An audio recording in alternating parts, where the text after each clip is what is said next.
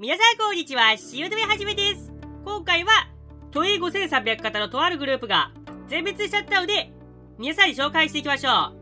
都営5300型ってやっぱり、地道に結構数が減ってる印象がありますよね。ですが、動画投稿日から見てつい最近に、実を言うと、都営5300型のとあるグループが全滅したっていうことがあったんですよ。今回はそんな節目ということもあって、皆さんにこの都営5300型のとあることが全滅しちゃったことについてお話ししていきますね。なんと都営5300型のミニスカート車が全滅しました。ミニスカート車っていうのは、都営5300型の初期車ですね。都営5300型の初期車の編成っていうのは、スカートが結構小さいんですよ。ちょうど、ウィキペディアとかにもこんな感じで画像がありますね。初期車はこういう風なちっちゃいスカートをつけてることから、ミニスカートっていう風な相性ってのがついてるんで。こういうことからなんか、ミニスカート車が消えたっていう風な表現がされてます。ちなみに普通のスカートはこんな感じですね。ミニスカートじゃない方の電車です。ちなみにこちらは、確か 5315F 以降の電車が該当しますね。ちなみに今回引退したのは、5314F っていうミニスカート最終編成です。ちょうど 5315F とは、だいたい製造年数が約1年くらいついてますが、見た感じ結構なんかそろそろ引退するじゃないかっていう雰囲気も満々です。今現在残ってる編成数が5315161920の計4編成しか残ってません。もしかしたら覚えていたり逆に、もうなんか廃車ってる可能性もありますね。結構この情報は逐一変化しちゃうんで、ちょっと参考にはなりづらいですが、まあ、こんな感じでミニスカート電車の一番新しい編成が消えちゃったんで、それに合わせて他の編成も全滅していたことから残念ながら、ミニスカ車っていうのは消えちゃったんですよ。あとやっぱりそもそもの話、今現在4編成しか残ってませんからね。もともとは27編成いましたが、残念ながら4編成しか残ってないってこともあって、まあ、どう考えてもなんかそうそう引退するんじゃないかっていう雰囲気満載です。ちなみにこう、都営300型こと、白い役場っていうのは結構カオスな要素が多いですよね。次はこのことについて、もうちょっと詳しくお話ししていきましょうか。今回引退したのは、ミニスカートの電車でしたが、実は都営5300型って、まだまだ結構カオスな要素が多いですよね。例えば、あだでしょうか。都営5300型って、白役場っていう風に呼ばれるんですよ。なんでこういう変なあだ名がついたのかっていうと、まあそもそも昔のネットのなんか造語って感じなんで、結局はなんかもう思いつきっていう風な答えになりそうですが、まあとはいちゃんと由来もあって、5300型は結構うるさかったですよね。都営5300型は GTO-VVVF を積んでますが、結構低温成分が強めの初期のタイプの VVVF です。結構なんかリバー級系の GTO 書体になんか低温が強いですね。それでいってトンネル内で反響しやすいことから結構音が響くんですよ。だから VVVF は結構うるさいっていう評判があるんですよね。まあ、ぶっちゃけ言っちゃうと他にも、普通に東部100系とか、その他もろもろ結構、都営5300型と同じような感じの音の VVVF があるんですが、なぜかこの編成は結構うるさいことから、白い役場っていう風に呼ばれました。まあ、やっぱりもしかしたらなんか変調音とかそういうことが関係してるかもしれません。ただでも正直言って小田急一線型のソフト更新後とか、なんか結構、割と個人的にそっくりな音も多いと思うんで、特別この電車系、爆音とかそういう印象はないですが、まあ、ついちゃったからしょうがないって感じで、一応なんかこの電車は白い役場っていう印象があります。ちなみにこの白い役場として特にヤバい編成が、532ライフですね。この編成結構実を言うと、結構不思議な経緯を持っています。例えばモーター音が、白い役場って言われるぐらい、ただでさえうるさい5300型の中でも、特にうるさい編成ですからね。特に532ライフって、とある事情から結構うるさかったりします。その事情っていうのが、120キロ運転タイムですね。東映5300型って最初から120キロ運転に対応してる編成って、一番最後に作られた 5327F 以外、実を言うと対応してません。そもそもこの編成自体、セミステン電車の編成組み換えるために、穴が開いた1本分の編成を新しく用意するために作った感じですからね。5300型は1995年までに、ほとんどの編成は増備を終えましたが、一番最後の 5327F だけ、1998年っていう、ちょこっと新しい編成だったします。ちなみにこの編成は、将来的には都営車でも120キロ運転をするかもしれないってことから、あらかじめ倒しました。ただその一方で残念ながら、この120キロギミックって、あんまり活かされず、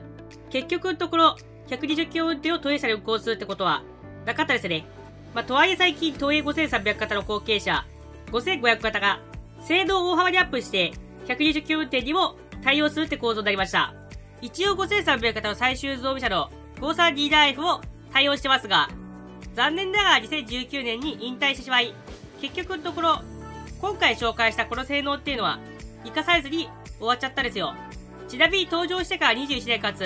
5300型の初期車と言われるミニスカート車も残ってる中一番新しい編成が消えちゃったってのは結構驚きでしたね。ちなみに E21 ラー系も登場してから20年ちょっとで消えちゃったっていう新しい編成もあるそうですが、またこれは別の話。都営5300型って今回は右スカート車が消えちゃいましたが、実はそれ以外にも結構出た編成が消えていたりしますね。都営5300型って実はさっきも紹介しましたが、残りの編成ではあるように、もうそろそろ引退することがわかりますよね。1ヶ月に1本ぐらい作ろうと思えば、新車が作れちゃうんで、おそらく今年末頃までには消えちゃう見込みですね。直通相手の他社では結構古い電車もあったりして、それよりも結構新しい電車が引退しちゃうのは結構びっくりですが、でもやっぱりなんか、計画上でも、元から2021年までに全部交換するっていう計画でしたし、割と結構月日って早いんだなっていう風に思いました。ていうかそもそもの話、結構早いですよね、やっぱり。形成とかでは、VVVF ファロか抵抗制御の3500型とか、そういう古い電車も結構走ってます。こういう電車がまだまだ活躍してる一方で、今回紹介する5300型が全滅するっていうのは、結構びっくりする結果ですよね。また、現時点では残念ながら、譲渡され先もなく全部廃車になっています。一応実はことでとか、都営浅草線の直通先京急とかでは、若干そういう提出例があるんですが、VVVF 車ってこともあって、結構設備の更新が必要そうです。だからこれはこれで結構厳しいのかもしれません。都営5300だって、先頭車は久保晴れ、かつ18メートル車、おまけに中間車は左幅あって、平成の組み替えもしやすいっていう構造、さらに 1M ユニットってことから、中間車の増結も簡単っていうことから、割と結構使い回し的にはいい感じで、地方転属等もやりやすいですが、残念ながら、引き取ってくれる相手が今のところはなく、残りを編成しかないですが、大多数はもう解体されちゃって、個人的に結構、ポテンシャルワードでなんか、あまり活かされず、結構もったいないなっていう風に思ってます。おそらくですが多分、譲渡っていうのは、今現在の傾向を見ると、残念ながらされずに全滅する可能性が高そうです。一応過去に都営1万型っていう電車が、一切譲渡されずに全滅したというケースがありますね。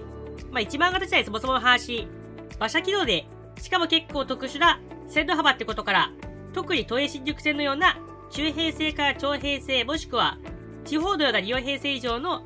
ローカル線とかではあまりこういう期間はなく、結局なんか使いにくいって感じでしたね。旧京王5000系とかちょっと例外ありますが、まあとはいえなんか全体的にはあまり転用しづらいっていうケースがあるんですよ。1万型については1997年生まれで2017年に廃車になっちゃったっていうちょっとかわいそうな編成もあったりして、都営5300型の 5327F 以上にやばい編成もありますが、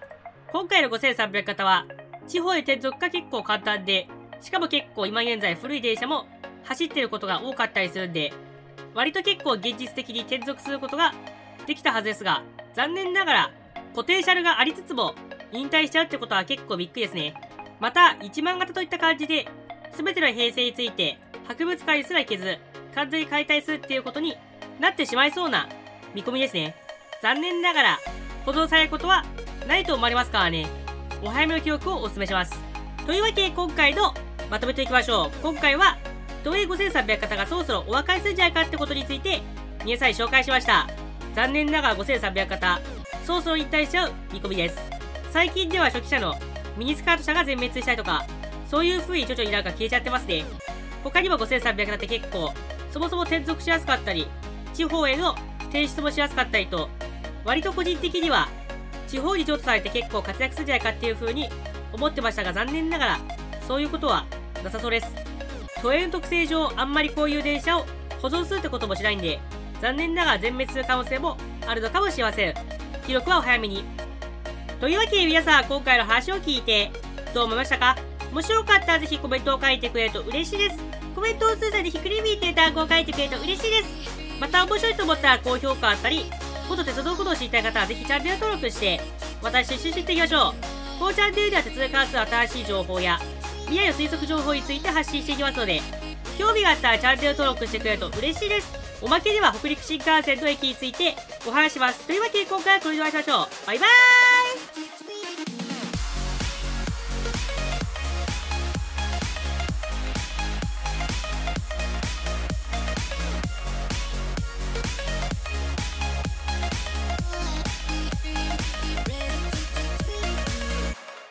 まけとして、越前竹府駅について紹介していきましょう。動画を撮る前日に、なんかツイッターで結構人気になっていた、この駅名で一応トレンドに北陸新幹線が入るぐらいでしたからね。厳密に言うと、北陸新幹線の延伸区間の途中駅の名前が決まったから、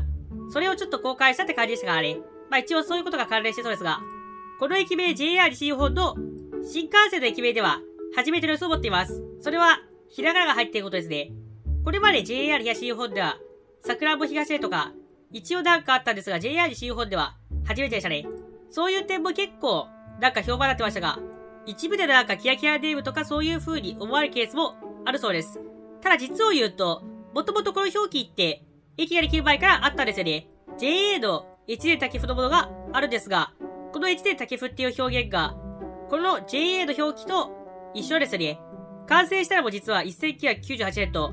実は結構案外と古かったりします。新幹線ができる20年ぐらい前から、実はこういう表記ってあったんですよね。いわゆるこの駅名って高輪ゲートウェイとかそういうノリで作ったとかそういう噂が結構流れてますが、実際は元から普通にこういう表記っていうのが過去にあって、単にそういうところを通るから、単純にそういうあやかって使った感がありますね。だから個人的には特別なんかこの表記は、高輪ゲートウェイみたいなちょっと特殊な地名の使い方とは若干違うんじゃないかなっていう風に思ったんですよね。というわけで今回のおまけはおしまい。